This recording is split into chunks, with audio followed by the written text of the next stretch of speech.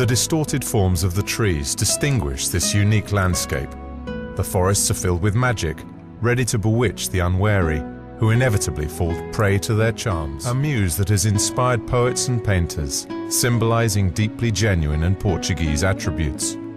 It's here, in the timeless riches of the cork oak plantations, that everything began. Our country is proud to house the largest extension of cork trees in the world. With a total area of 736,000 hectares, representing 23.5% of the country's forestry area, it is the most representative species in Portugal.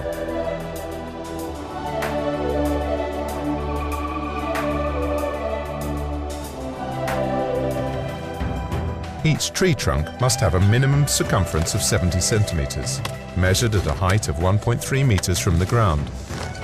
From this point onwards, the cork tree will provide high quality cork at nine year intervals over around 150 years. In other words, cork will be removed 15 to 16 times over the tree's lifetime. After removing the bark from the trees, the cork planks are carefully piled on top of each other either in the forest or in the factory yards, where they remain to stabilise for a period of at least six months. The cork stabilises during this resting period. After complying with all the necessary requirements during the drying stage, these giant 3D jigsaw puzzles are ready for processing. The cork tree's treasure is now exposed in its full splendour, with all its unique and incomparable properties that until today no man-made device has been able to equal. Cork has all these values and above all is a 100% natural, recyclable and reusable product. Percent of the cork produced is destined for the export market. 60% of transactions globally originate in Portugal, rising to 86% if we also consider manufactured cork products.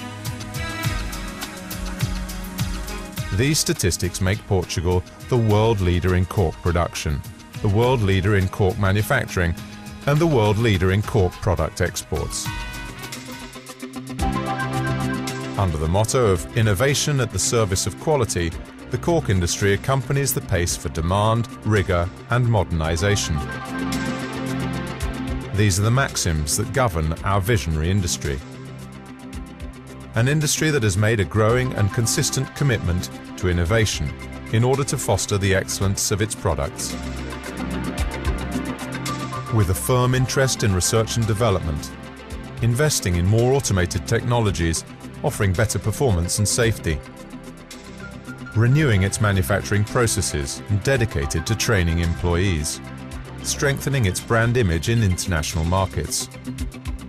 In short, producing more with greater variety and even higher quality is an omnipresent element in our daily experiences. It forms part of our daily lives, wherever we are and wherever we turn, from airport runways to viaducts, bridges and motorways.